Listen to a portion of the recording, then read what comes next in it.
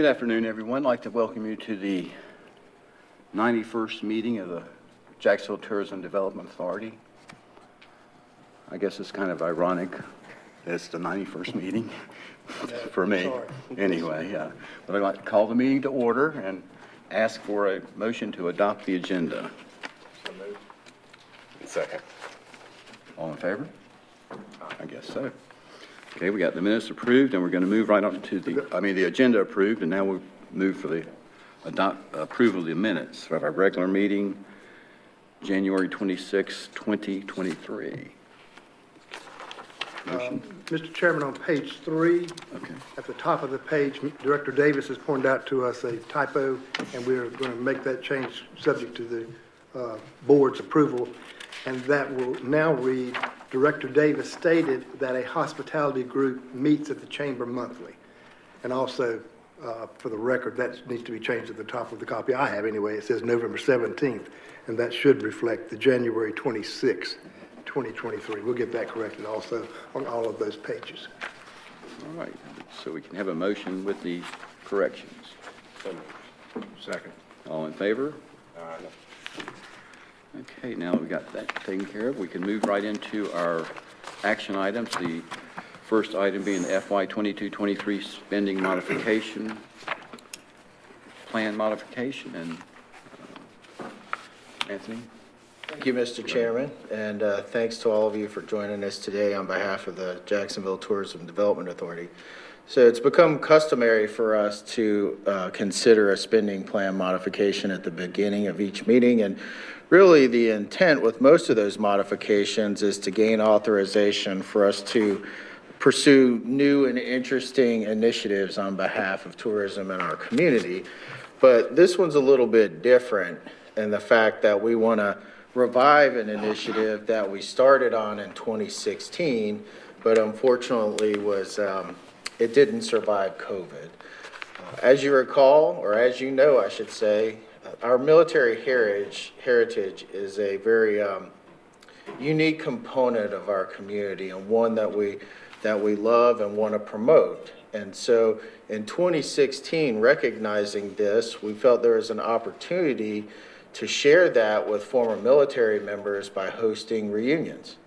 A lot of this happens naturally anyways, but by having a facilitator or a concierge, whatever you want to call it, uh, the intent was that we would be able to increase the frequency of those reunions and then also um, convince those folks that there's plenty to do here in our community and that they should stay, they should come earlier and stay longer. And so over the years, uh, we partnered with the chamber to develop the program materials that you see. It included itineraries and various things that uh, really gave our military reunion folks a taste of Jacksonville. And it also helped to um, smooth out some of the logistics of their visit. You can see here that we had coins, challenge coins, that we would hand to the participants. And when they showed this at various restaurants and, and other establishments throughout town, you know, discounts were offered, some as much as 50%. You can see Yo Breeze there at 50% off, which is very generous. And multiple people, many, many, many people uh, took advantage of this. And what we're finding is that many people remember it. So now that COVID is over, uh, the military reunion interest has resumed. And we mentioned during your subcommittee meetings that they're coming in the door, I wouldn't say in droves, but they're definitely stacking up on us. And the intent here with the uh, budget modification is for us to reallocate some funds to better pursue and organize these military reunions. This here is what I would consider as a, um, as a smaller reunion. Some of the ones that we're talking to right now are as many as 400 people. So if you scale that up and consider what the economic impact of each one of those might be, it's considerable. And then for our hoteliers, you see what the room nights there is for 86 participants. That's significant as well. And so with this coordinator, the intent is to increase the frequency, increase the hospitality, better engage them with our community so we have a better um, economic return. And of course, those folks who join us have a better experience and then want to in turn return in years in the future. So looking at the economic impact here, uh, this is a yearly projection, and I did a low and a high, because I want to quantify what the opportunity is here if we decide to pursue. So on the low side, that's assuming that we have one event that's slightly larger than what we see here per month, okay? So that's 12 events throughout the year. That is an extremely low projection because we're probably already seeing that level right now. Um, So 80, $840,000 worth of economic activity generation with room nights at 2,400, a $208,000 impact. Now, I have to uh, give praise to Mr. Davis here because we spent a good amount of time on the phone last week talking about our new STAR data. And STAR data is information that's provided to us about hotel performance. It's not something that we've um, religiously worked with in years past, but it's something that we are going to consult with moving forward. And Mr. Davis, I believe, is going to give us a, a greater taste of that here during his report. But the number that we got for the room nights is based upon what we consider uh, the average daily rate of all the hotels in, in Jacksonville. And so you move up to as high, and, and during the heyday of our partnership with the chamber, uh, they were, they were hosting three to four of these a month, okay? And we feel like that opportunity is still there. But this high projection is based upon three per month, again, at the same smaller size that we saw on the slide before. And you can see what the economic return and then the hotel room night projection would be. So we're talking about some real money, not to mention the fact that this improves the potential experience that those folks have in our community, especially for the ones who are going to be here anyways. And, and really, I, I think this gives us a good opportunity to connect, better connect those folks with local businesses. So we can connect them directly with hotels, we can connect them directly with restaurants and services that they may need. So again, this is just a great opportunity, and we're hoping to kind of revive this uh, in a, in a timely fashion because the requests are piling up and the season, the reunion season is starting. So the request is that we would reappropriate some funding in the budget to pursue a tourism coordinator. And again, their primary mission would be the military reunion program. Uh, But also, we want this person to focus on some other things, and this would likely be in partnership with folks like uh, Deanna and Teresa and Stephanie and Susan as well. So we all work as a, as a great big team, but we also want to spend more time on things like research data, gathering intelligence on how we're performing. Uh, We also want to better engage with our hospitality partners, something I mentioned just a second ago. Uh, But we also want to expand that further past military reunions just to uh, day-to-day coordination. And then personally, I really need some assistance with administrative support. You know, this is a part-time job for, for me and, and for the rest of the team, and we love this job, and we want to continue to be engaged and, and, and doing great things on behalf of the board and the community, but we really need some support, and, and this would, would fit that role. So the request is that the Board of Directors reappropriate thirteen thousand three hundred from the unassigned promotions line item. So this is money that's not obligated at this point, uh, to salaries and benefits for us to pursue a full-time coordinator. Now, the way that that would work, this individual would actually be a city employee, okay? And so it would report through the chain of command to the city manager. But their primary function would be to support the, the the Tourism Development Authority. Uh, Mr. Thomas and Mr. Warden are very familiar with this approach and the fact that that's what we do with the Transportation Advisory Committee. So again, we've done this in other, in other areas. I'd be happy to answer any questions that you may have and uh, would appreciate your consideration of the, of the spending plan amendment. Well, Anthony and I have talked about this, and of course, the next step is for the city council to accept this money, to add another full-time employee with the city of Jacksonville. Because when you add full-time employees, they begin, and he's got, he's put all the numbers here, that's not the question. But they then, after six months, you know, they, they're vested, uh, and they're no longer probationary employees and so forth. So all the rules and regulations, personnel rules and regulations that apply to each of us as we join the city of Jacksonville would apply to this person, and they would be put into the uh, chain of command, if you will, under Anthony, I'm sure. Uh, The city manager would, would designate that. But again, the council has to, my, accept that and to allocate another uh, position, full-time employee position in the human resources uh, scheme. Yes, sir, that's correct. This is a two-step process. So today, we would potentially appropriate the funding. That basically signaling to the council that the TDA is interested in adding this person. And then at a later date, I don't think it would be the next meeting, but probably the following meeting, we would ask the council to take action to create this position and authorize hire. You're actually wanting to, to go, to finish up this fiscal year, so that would not be part of budget discussions for council next year, but this is, this is something that you would take outside of the budget consideration. Yes, sir. That's the Okay. intent. And, Okay. and really, if, if the timing was different, we would wait until the budget.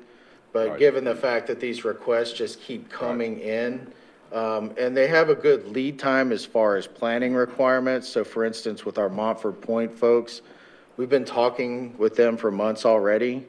And that's a big lift. And so we really need somebody in addition to Teresa and Susan who can kind of help facilitate that and make it a very positive experience for everyone. So, You're going to be looking for somebody with hotel hospitality experience, is that, is that your, going to be your primary focus, you think? potentially, potentially.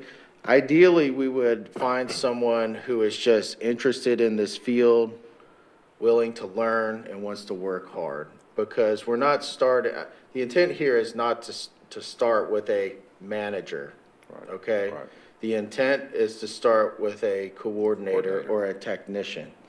And so that gets us into the business with them and then allows us to grow them over time to become uh, something at a higher level. But really, we want good, quality people who are here to work, enjoy the community, and support the mission of what we're trying to accomplish here.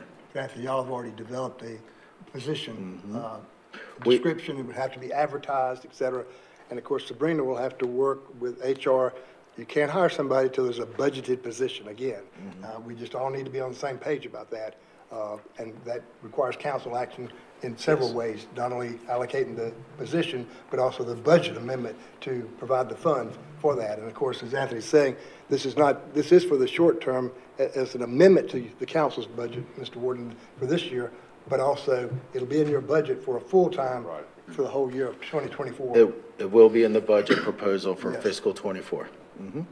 And like John said, we do have a full job description with career development plan. We've done all of the HR work and, and feel really comfortable with where we're headed. Uh, but given the specialized nature of this job, we didn't want to write it too specific. You know, we want the best candidate and we can teach them from there, as long as they're willing to learn and, and support the organization. It sounds like it's more of a, uh, the initial point of contact for these event planners and, Initial point of contact and legwork. and collecting the, the qualifying information. If somebody presents with a new event, just collecting all the details and saving some of the, It basically becomes like a concierge for these folks, you know, helping them arrange things. We're not going to do all of the work for them, but given our local knowledge and the fact that we're here, you know, we can help, we can definitely smooth out the process. Um, and one of the things that I feel really strong about is, is that when we have these captive opportunities, we want to proactively go to our hotel partners and give them the opportunity to participate in this. You know, right now, um, the way that it works, it's kind of luck of the draw as to which hotel, you know, these organizations want to connect with. And, and I think based upon our guidance and assistance, we can connect them with the one that best suits their needs. And give others the opportunity to, uh, to bid on these, these, uh, these events as well. Sounds pretty good, Anthony. Nobody can say we rushed into it because we've been here 12 or 13 years and have yet to employ. We've, we've finally grown up to this yeah. point, sir. So uh, I think it's a, a smart move, I really do. Thank you very much. So we need a motion to amend the I'll spending. make a motion to approve the spending plan to hire a full-time coordinator. Okay, I guess we're all in favor. Mason? All in favor? Motion carries. Very good, Anthony. Thanks for the good work you do. We're going to move on to our second item, which is a presentation we've all been looking forward to from the Jacksonville Onslow Sports Commission. Good Welcome. afternoon, gentlemen. Good to see everybody again. Um, So Anthony asked me to give an update, and I'm not going to cover every event since we last talked. You guys get the emails and- and see those updates. And, uh, you know, your, your funding and support of our organization obviously helps us do everything that we do. But I kind of wanted to focus on, if you remember, you guys came through with some extra funding last year that had some kind of caveats tied to it. So I wanted to update you along those lines. So thanks to that, we were able to, to hire that third part-time uh, person. This is Judy, and uh, she's been invaluable when it comes to events. You know, before it was just Marisa and I trying to kind of coordinate every aspect of every event. So having another body there has been a uh, major, major difference. So uh, that that's the first thing. And then we have been able to do some additional events. So thanks to you guys and, and partnership with Susan, you know, we were able to host uh, the the Carolina Gloves East back in February, and uh, it was a, a tremendous success. I, I do want to talk about the numbers on this one. So, estimated room nights of 675, uh, over 255,000 estimated economic impact. Uh, the, the neat thing is there was 182 boxers. Only 15 of those were from one hour away or closer. Now, I'll quickly read off where they were from Canada, Pennsylvania, Maryland, Arkansas, D.C., Florida, Michigan, Nebraska, New Jersey, New York, Ohio, Tennessee, Texas, Virginia, South Carolina, and North Carolina. So, um, this is this is what we talk about when we talk about doing events. Uh, 86 coaches, 30 officials, family and friends, and the average stay was three nights. So they had to be here on Thursday night for registration, and then there was boxing Friday, Saturday, Sunday.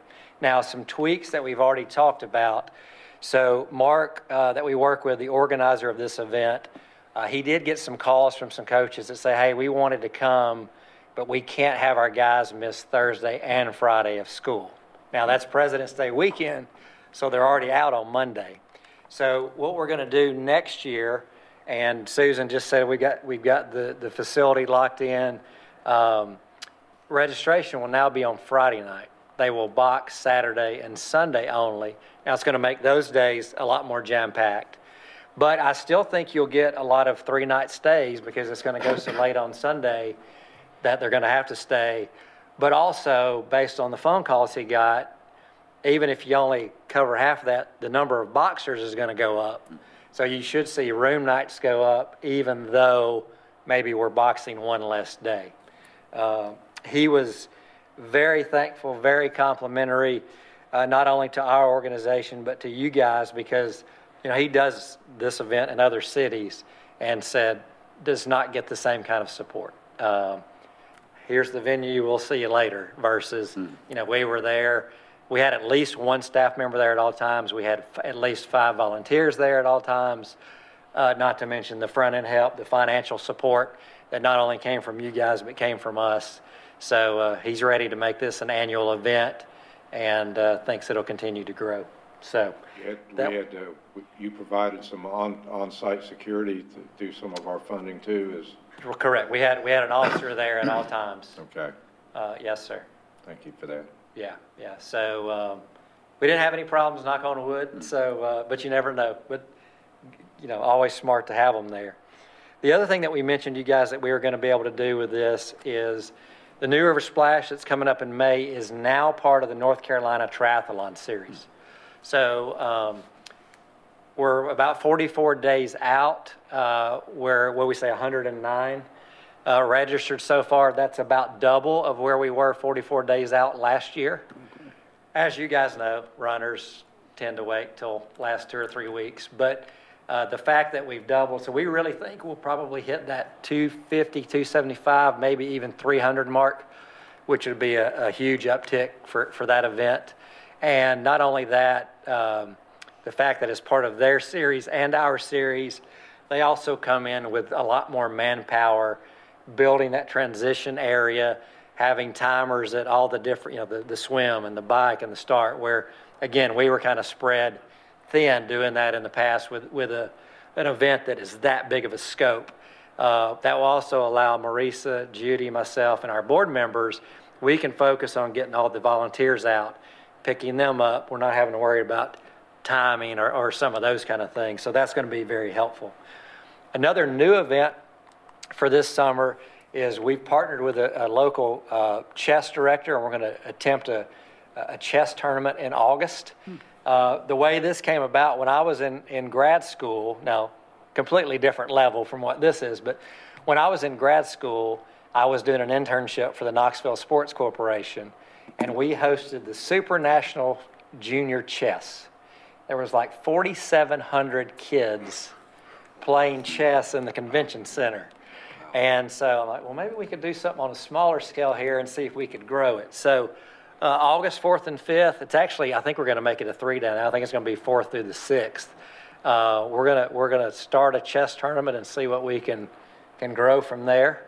Uh, there's pictures of kids here, but you know, chess is done by your skill level. So if I were, and I don't even know how to play chess, if I were, if I were any good at chess, I may be playing a 12 year old who's on that same level, or I may be playing a 65 year old who's on that same level. So it's not an age group thing, it's, it's, a, it's a skill level thing.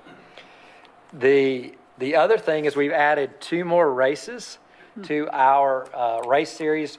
One is the Onslow uh, Memorial Hospital Foundation, their Miles for Mammos is coming in as a partner. And then a brand new race is our Moving Mullet 5K.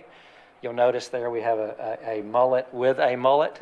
um, and that'll be the, the Saturday before the Mullet Festival down in Swansboro. And so um, just another opportunity to attract some folks to our area. The other thing that I wanted to, to point out, and I think you guys know this, but, but I think it's forgotten sometimes and something that we need to reiterate. Out of the funding that we get from you, we also in turn fund sporting events that are bringing room nights to our community. Now, we also, uh, sometimes we help with time, sometimes we help with finances, sometimes we help with equipment, or sometimes it's all the above. Uh, but coming up on April 17th and 18th, the uh, CIAA, they're having their men's golf championship here. So this is a conference within the historically black colleges and universities. And their men's golf championship is going to be at the country club uh, for a couple days there. So eight men's golf teams will come in, plus all of their staff. And of course, you'll have some fans and some parents but that's one that we give financial support to.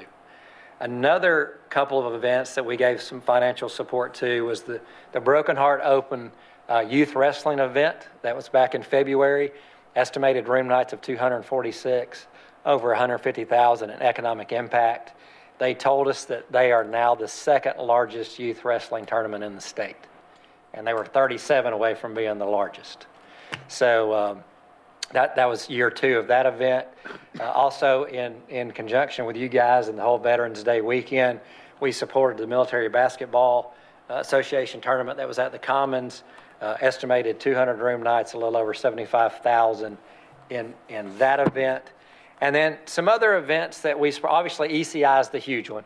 And we give not only lots of time, but um, resources uh, financially for that our partners in our race series receive, not only do we help all cross promote each other, uh, but this last year, for example, each of those partners, uh, Running with the Law, Ainsley's Angels, um, who am I forgetting? Uh, what did you say? The YMCA all received a check for over 700 bucks at the end of the year uh, from money we raised there. We, we tunnels to towers, we give equipment.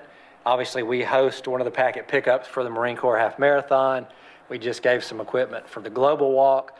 And while it's not much, we, we help out just by getting some breakfast donated for the pickleball tournament because that's such a great event for our community. So, and, and it varies from year to year, obviously, as far as what events are going on.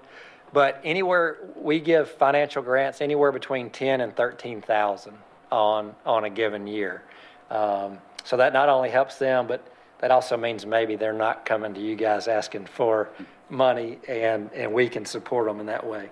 So the last thing I want to tell you, and then uh, we'll be happy just to answer some uh, questions or, or touch on anything. So uh, fiscal year to date, and again, this is all track sporting events in Onslow County. We try to track everything we can, so I'm not saying these are all of our events.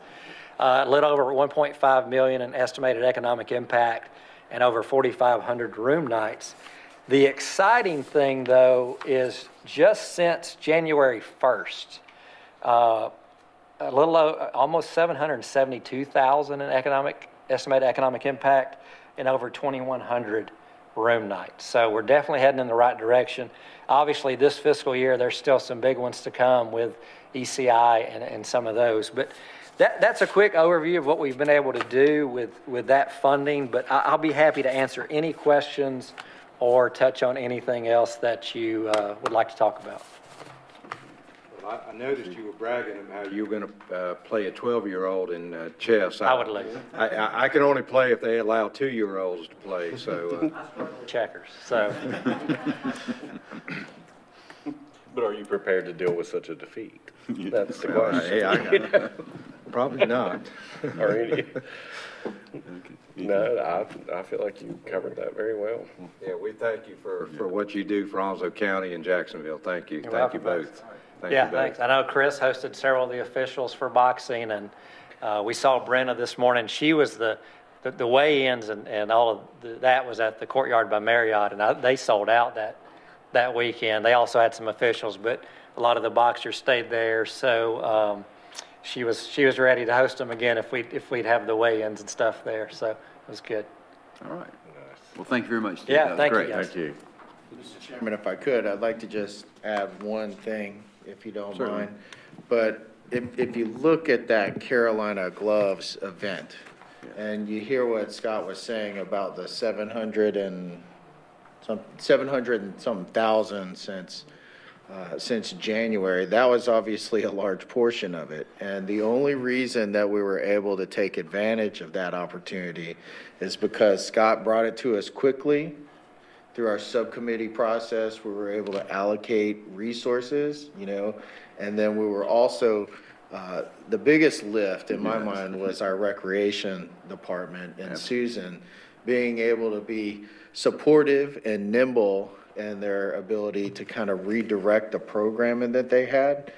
Uh, The, the great opportunity for that particular weekend is that's when Jack Amyette opened up, and please correct me if I'm saying anything wrong here, but by having Jack Amyette back online, we were able to adjust. And so, you know, the partnerships that we're forming here with the Sports Commission, with the TDA, and of course, always at, at, with the city's uh, Recreation and Parks Department, you know, those are the things that make things go. And, and we were able to grab this one quickly. I don't remember from when we found out about it to when it occurred, it wasn't, but a handful. We started talking at our August event, but I think we got serious probably more around October. October. So this didn't have a long fuse Right. like a lot of our other ones do, but uh, it's something that we were able to capture from Fayetteville. And hopefully they're going to continue to come here year after year. He's ready, he's excited. There we go. It was, a lot of things fell into place. Yes, Great. sir. And, and part of that, actually, a lot of that was your support, and we really appreciate that. Well, thanks. Uh, So I guess including the packet is a tourism-related committee report, and we can move on to our promotion committee report. And I guess we'll start with the hotelier update.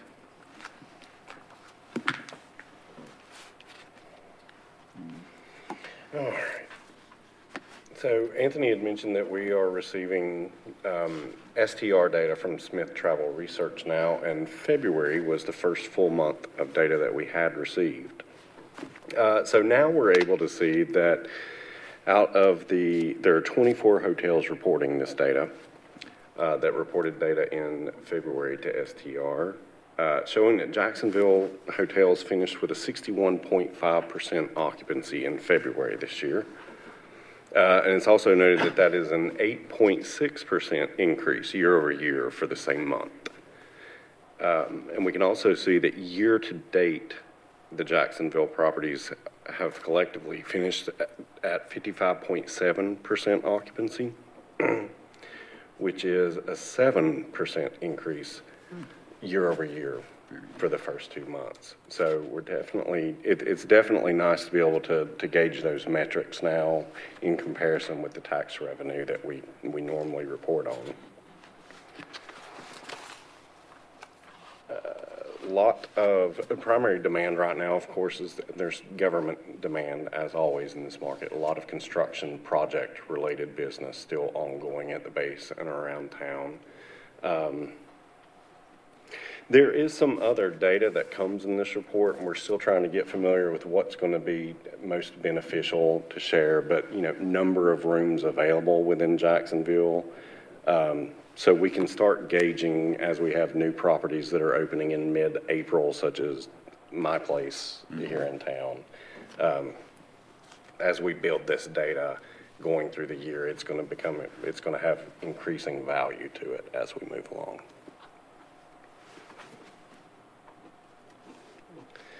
And that's just a, that's just the general update that I have. I think Teresa, Yep. Teresa, you want- welcome. Teresa. If I could add one thing about the STAR report before Teresa starts her presentation. That's yet another partnership opportunity, and you know, we've been looking for research data for months and months now, and there's tons of opportunities out there. So we were approached by Onslow County Tourism, and actually Teresa, I think, initiated that, um, to to combine, um, to combine resources and share in the cost of this STAR data. So they get what they need, we get what we need, and neither one of us have to pay full price. So it, it's just a great opportunity for us to, to get what we need without having to pay, you know, what could be thousands and thousands of dollars a year. Thank you. Very good. Good afternoon.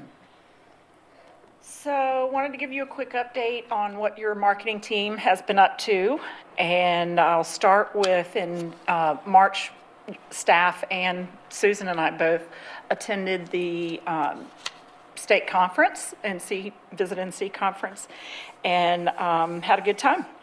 We, uh, in addition to learning trends and, and laws and everything that they provide uh, in their uh, seminars and in their classes, we, um, Susan was able to pitch media uh, as a part of the event. Every year, they bring everybody into a room and you get to pitch your, your DMO.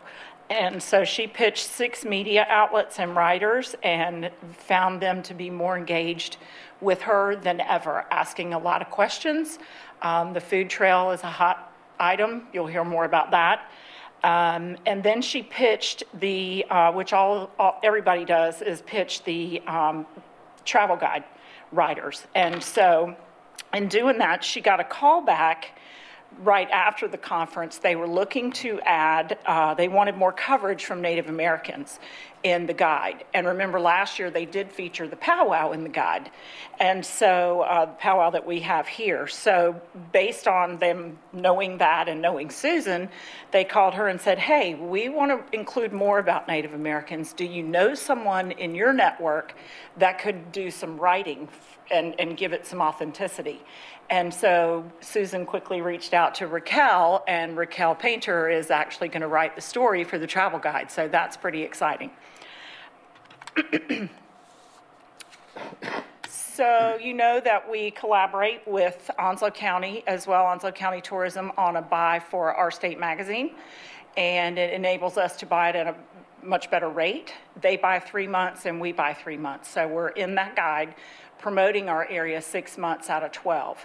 So repetition is key and we need to stay, you know, focused and, and putting our story out there. So in March, I hope you all get the magazine and saw the ad, American Stories Told Here. We ran this last year one time, and we decided we needed to run it again. It's an opportunity in March to promote for people traveling in May and just be able to kind of let them know that we have some things that they can do here.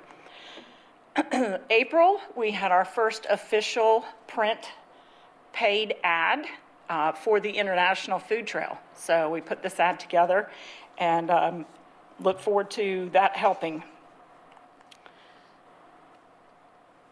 You remember we um, printed a visitor's guide two, over two years ago now, well, right at two years. when we printed these guides in, well, in 2021, um, we printed 25,000. Typically, in the past, there have been 20,000 printed.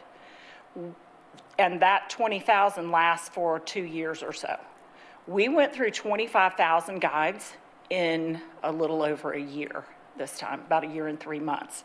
So we had to reorder. We reordered 15, and we looked to do an update in 2024, in fiscal year 24. So, you know, travel guides are important. Um, we just had a discussion this morning at the hospital at the TAC meeting that people still want that guide in their hand. Believe it or not, we all think everything lives online, and it does. And we have a tremendous amount of downloads on our website and on Onslow County Tourism, but people still request the guides. And these are people, if they request a guide, they've got intent on traveling to the market. So we've got to put our best foot forward in that guide all the time. I think Salem said that they're sending out, because when we get a request, we send it to them. And she said they're sending 20 to 30 out a week lately. So that's pretty exciting to hear. Um, and uh, we also know people want them when they get here, so some of them do pick them up when they're already in the market, and they're in all of our hotels and uh, at the airport, and we can't keep them in stock at the airport. So, International Food Trail, we told you that was going really well. And last week, Susan was in town, Susan Dozier was in town with Heidi Billotto, who is the food uh, foodie food blogger. She's pretty renowned from Charlotte, and she was, they were here vetting the restaurants for phase two. We're looking to add 10 to 12 locations, uh, and that'll be ready for summer travel season for sure. So they were in town gathering, you know, all kinds of food and stories uh, to put with them of the owners and such and doing interviews. So, uh, one interesting little fact that I read on one of the Visit NC's uh, research pages just the other day was food trails are one of the biggest travel trends for 2023 that they're projecting. So we're right on the money with being able to promote that. And food is actually a motivator for about half of people looking to travel. We all like to eat. So, um, so look for, for that coming up. We'll keep you posted on that. Um, some of the things, additional things coming up that we're working on, we just did a video shoot two weeks ago. We have uh, another video shoot, two more this year. We, our spring digital campaign is launching uh, in a week or two, so we're ready to go on that. The uh, Susan has together a familiarization tour. FAM tour is scheduled for May. It is about the International Food Trail primarily, but these people can't eat all day. So they do, I mean, it seems like they do, right, Anthony? but they do other things, like they'll go to the gardens, they may go to Swansboro, so they work in other things as well, so they get a good feel for the community, not just the food while they're here. But she's got some pretty heavy hitters on that list already. She'll end up with probably six in town. Uh, We have been adding website content as feverishly as we can, and the city staff, I can't thank them enough, Lisa and Kelsey. Kelsey's amazing. She can turn stuff around super, super quick. So they're, they're assisting with all that. And then we're continuing to work to uh, find the best um, resource for getting some research for us. We want the most we can get for our money.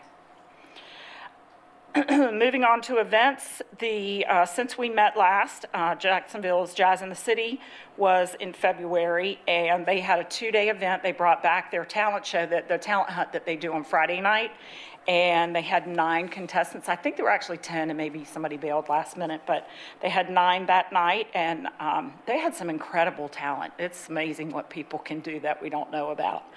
Um, so that was good, and it was pretty well attended. And they, they, their event is at Sturgeon City, and they max it out. They can't do any more. So um, they uh, added something new this year. They sold 240 tickets, but they added new where they sold VIP tables for more money, and they were dressed up a little nicer. They sold immediately. So I guarantee you they're going to add a few more VIP tables next year. But that just helps them in their mission, you know, of sending boys to camp. So uh, I think that's awesome. And interesting point, it, when we looked at the back end analytics to the website, the traffic that came to the website, if you looked at, we looked at it geographically, where are those people from? Um, in order of numbers, sorry, let me advance this. The areas of interest were Charlotte first, uh, then Jacksonville, of course, Raleigh, Greenville, and Fayetteville. So there was some good interest there. I think it's a great event that has some potential, uh, has more potential, actually, and they ended up with 20 overnight stays.